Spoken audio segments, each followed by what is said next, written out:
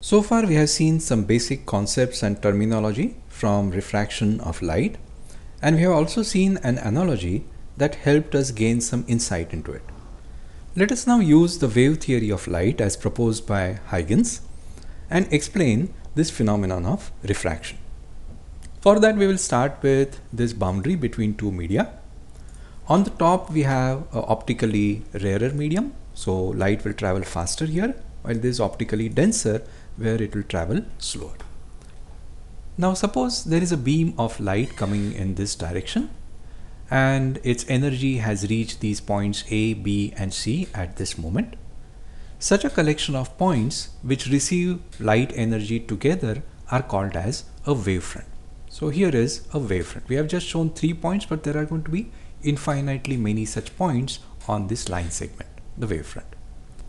Now according to Huygens, every particle on a wavefront becomes a emitter itself. So these particles A, B, C will start emitting light waves themselves. But there is a difference.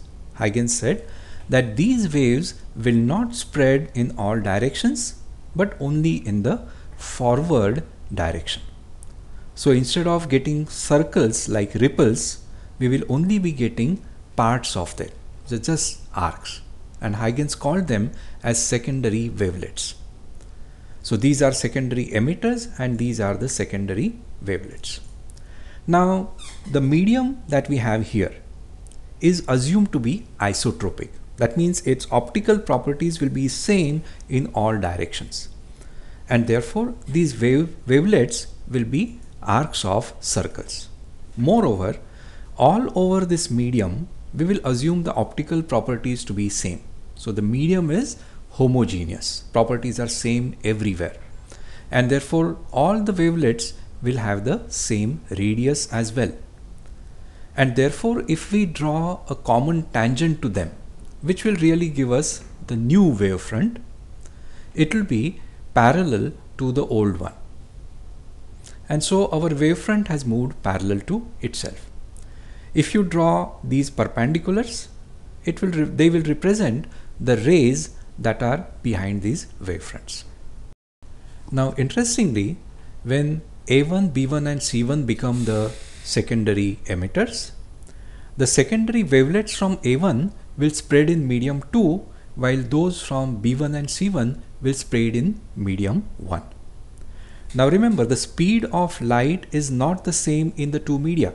It is less here and therefore the wavelets will not have the same radius. Here the radius will be less while these two will have a greater radius.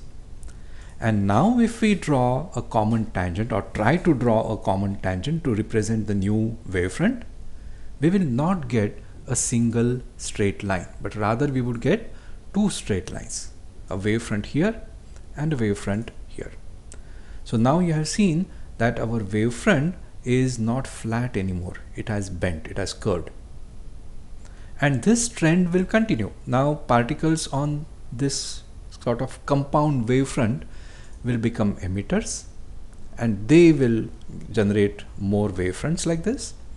And uh, these wavefronts are then followed by the rays of course. And now you can see the ray here has bent. The ray here has bent and the ray here has bent. And so refraction is taking place at this boundary. This is how Huygens explained the phenomenon of refraction. Now just to recap what we just saw, but only in terms of rays. Here are two ray diagrams. This is our medium boundary.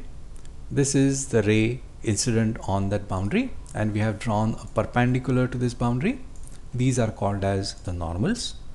So when we are going from rarer to denser medium, the incident ray gets refracted, deflected towards the normal.